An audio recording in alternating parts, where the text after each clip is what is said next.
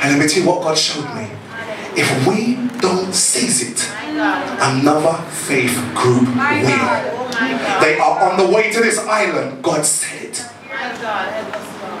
The spirit of Elijah must come to turn the sons, the hearts of the sons to the father, and the sons of the father to the son. If we don't, another faith group will.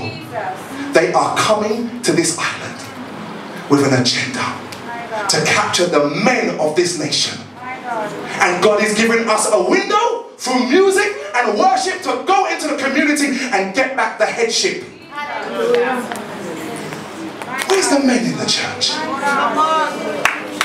Where's the men? Where's the men?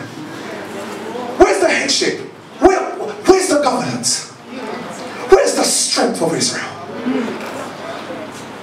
In the ghetto, in the prison, in the and in the byway. And God is waiting on us to arise and to get out there and do what He said to do. God cannot lie.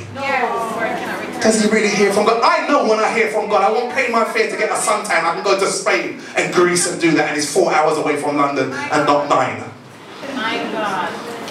My God. But I know when God speaks to me. Amen. And I'm telling you, we need to rise up. By this time Yes. next year.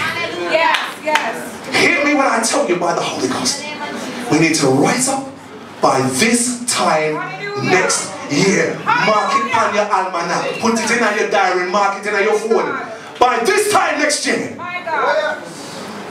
the altar must be repaired in this nation.